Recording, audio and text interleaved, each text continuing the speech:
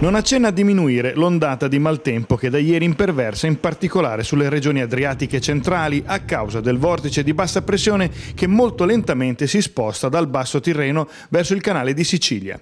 Verso il suo centro converge una perturbazione sospinta e alimentata da forti correnti orientali.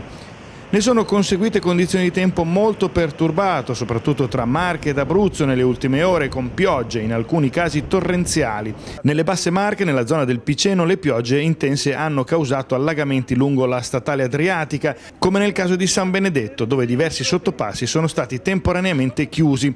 Lungo la superstrada Ascoli Mare si è proceduto a velocità ridotta, ciò nonostante un'automobile si è ribaltata a causa del fondo stradale allagato. Segnalati piccoli allagamenti modeste frane nelle zone collinari intorno ad Ascoli dove sono intervenuti i vigili del fuoco. A Fano le situazioni critiche che si sono verificate sono quelle che ormai da tempo affliggono la città. Il sottopasso del Lido, la zona trave è diventata un lago artificiale e Viale Ruggeri, che rispetto al passato ora è solo invaso da ciotoli della spiaggia portate dalle onde più lunghe, ma comunque percorribile. Ed alcune spiagge nella zona sud della città a cui il mare ha portato via qualche metro di sabbia, ma senza danneggiare le strutture. Vigili del fuoco inoltre in azione per rami pericolanti sulla careggiata un po' in tutta la regione e nella provincia.